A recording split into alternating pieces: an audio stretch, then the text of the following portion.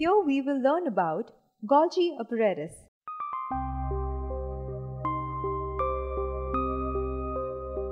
Golgi apparatus is also called Golgi body or Golgi complex. It is named after the scientist Camillo Golgi who first discovered it.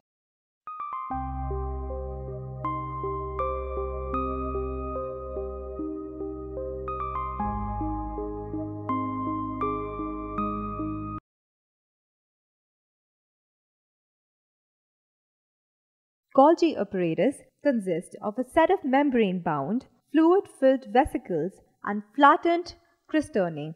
Cisternae are usually stacked one above the other in parallel rows.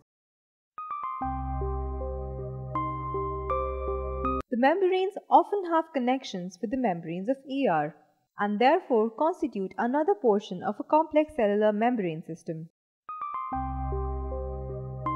In animal cell, Golgi bodies exist as extensive network, but Golgi apparatus is present as discrete units in plant cell and is called dictyosome.